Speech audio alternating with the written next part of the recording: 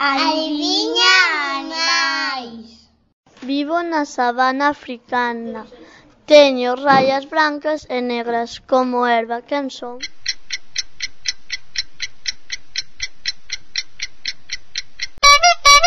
A cebra. Teño pelaxe moi abundante, digo cho eu.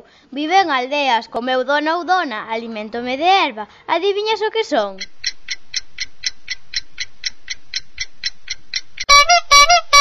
ovella. Teño pico laranxa, unhas as pequeniñas, estou nos lagos pequenos e como peixes, sabes quen son?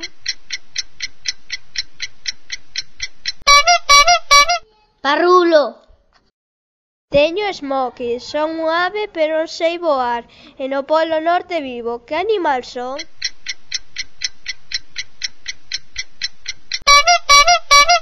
Pingüín teño un animal, ten unha trompa, é, é moi grande e habita na sabana africana, ten as orellas moi grandes. Quen é o meu animal?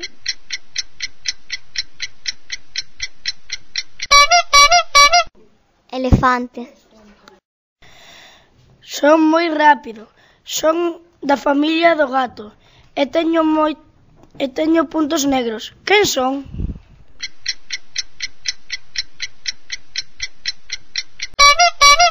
Lepardo.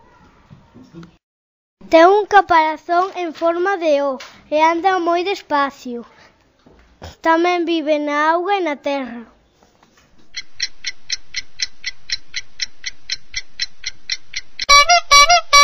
Tartaruga. Eu habito na selva de África. Teño manchas e como as follas máis altas das árbores. Quen son?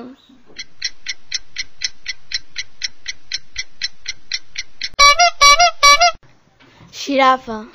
Tic-tac, tic-tac, o reloxo vai soar. Tic-tac, tic-tac, temos que levantar. Tic-tac, tic-tac, o reloxo vai soar.